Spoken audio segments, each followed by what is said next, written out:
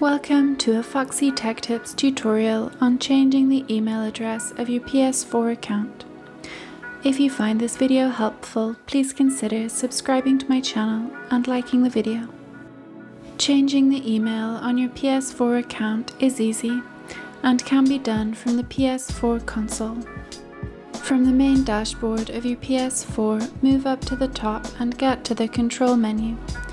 Move all the way to the right and open Settings. In Settings, select Account Management. In Account Management, select Account Information.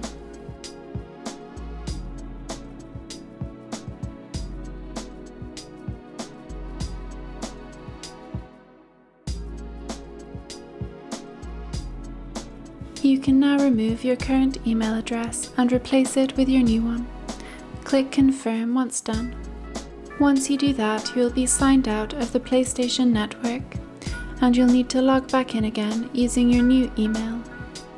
Now you will need to confirm your new email address with an email confirmation link. Open your email and click the confirmation link that PlayStation sent you.